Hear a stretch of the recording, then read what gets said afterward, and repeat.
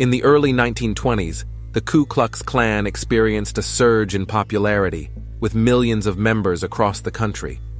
These shocking photographs capture the infamous KKK Washington Parade of 1926, a spectacle that drew thousands of participants and spectators.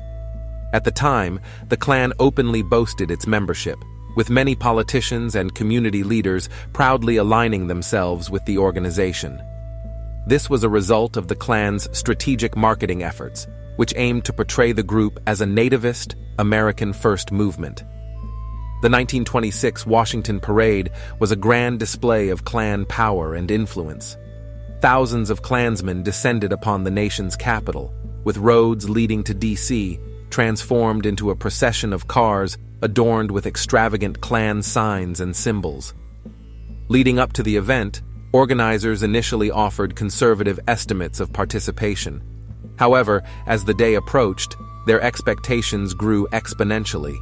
The New York Herald reported that Klan leaders admitted they expected at least 50,000 visitors, with the actual number potentially surpassing that.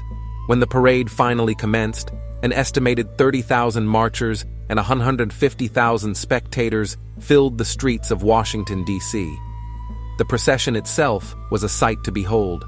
30,000 men and women, dressed in the iconic white robes and conical hoods, marched down Pennsylvania Avenue from the Capitol to the Treasury. The Chicago Daily Tribune noted the presence of various Klan officials in vibrant silk robes, while companies of Klan's guards stood out in their crisp uniforms. While some press outlets praised the precision of the march, others observed its chaotic nature. The Washington Post described the scene as one of the strangest they had ever witnessed. The parade lasted nearly three and a half hours, with lines of Klansmen swaying back and forth along the avenue. The event itself was shrouded in an eerie atmosphere. As darkness fell, ghost-like figures moved about, illuminated sporadically by flashlights and car headlights.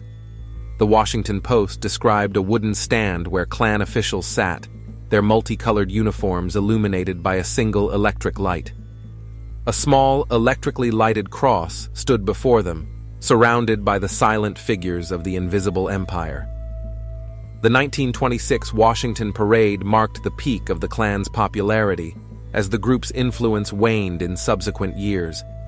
Despite their efforts to attract new followers, the Klan's unmasked demonstration in Washington, D.C. remains an unforgettable chapter in American history. These rare photographs provide a chilling glimpse into a dark period of our nation's past.